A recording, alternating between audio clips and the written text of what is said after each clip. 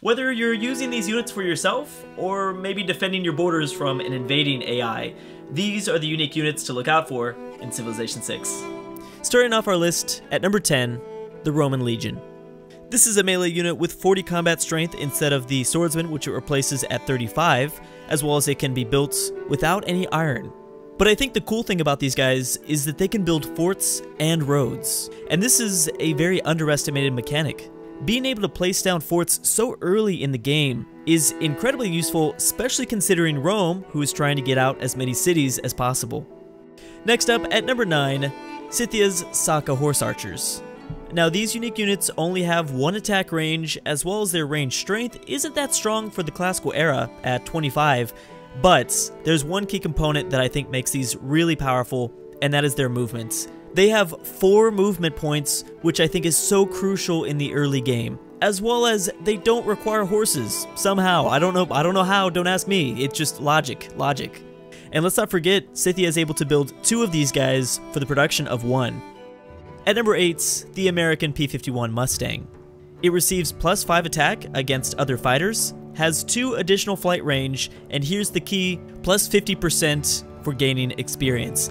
That right there is a very overlooked detail. Getting extra experience out means more promotions, which means always being able to get 50% of your health. And let's not forget, in Civilization 6, that new promotion tree can really make the difference between winning a battle and the war.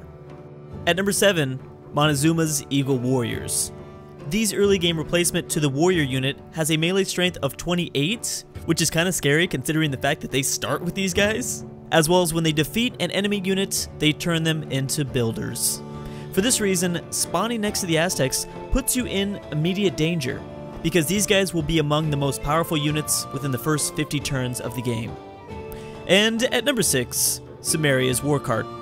Probably the only unit that can compete with the Aztec Eagle Warriors, these war carts get a melee strength of 30, have 3 movement, and suffer no penalty even though they're a heavy cavalry unit versus spearmen or pikemen. And on top of all of that, Gilgamesh can construct these at the very beginning of the game. They're even potentially as fast as the Saka horse archers. If they start in open terrain, they get 4 movement points. These are the units that absolutely dominate the early game. Here we are at the midpoint of this list, and at number 5, Japan's Samurai. These units should be very familiar to you if you played Civilization 5, because these Japanese samurai do not receive penalties when damaged. This means you'll often see one Japanese warrior take down a weaker unit even if they're at full strength. If you're trying to hold back a Japanese invasion, these samurai are going to be incredibly frustrating because they just are so damn hard to kill. At number 4, and this should be a surprise to many of you, the Russian Cossack. Now I've really been building up this unit as if it's probably one of the best in the game, and it certainly is, but I don't think it's number 1.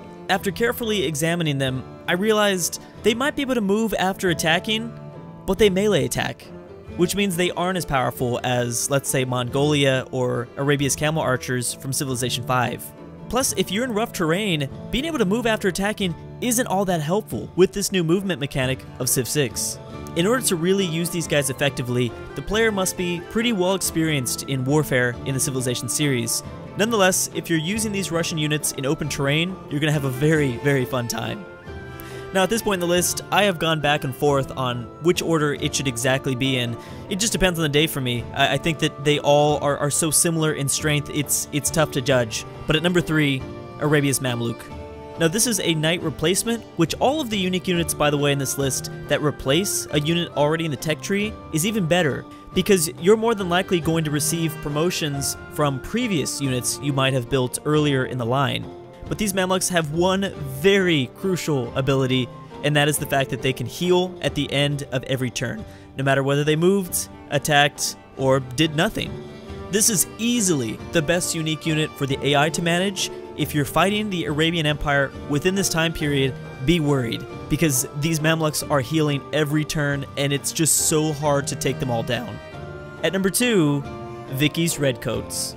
Now these unique units sit right in between musketmen with 55 combat strength and infantry units with 75 combat strength.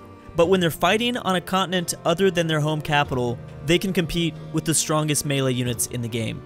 Not to mention, they also have no movement penalty for disembarking, which means England is able to make naval invasions turn into land invasions very quickly. These redcoats are the most powerful melee unit in the entire game. And at number one, and this is probably going to come as a huge shocker, Brazil's Minas Gerais. Okay, okay, so hear me out here. I do realize that these units will be confined to ocean tiles, but I think they can even play a big role on Pangaea maps. These are the strongest unique units in terms of combat strength, hands down. At 80 range strength, they also replace the battleship. And as I said earlier in this list, that means that early range boat that you built on turn 50 might have tons and tons of promotions. And by the time you get to this battleship, he might even get more than 80 combat strength in certain scenarios. Brazil also gets access to this unit way earlier than the default battleships. They get it through the Nationalism Civic, which means you'll be getting already the strongest ship in the game with probably a few promotions earlier than everybody else. Finally, of course, it's a battleship, which means you can attack three tiles away. For any player in Civilization 5 or Civilization 6 that's experienced in combat, three tile range is huge. And also having the, like I said, strongest unit in the game and getting it earlier than everybody else, that's why Brazil's battleship is my number one.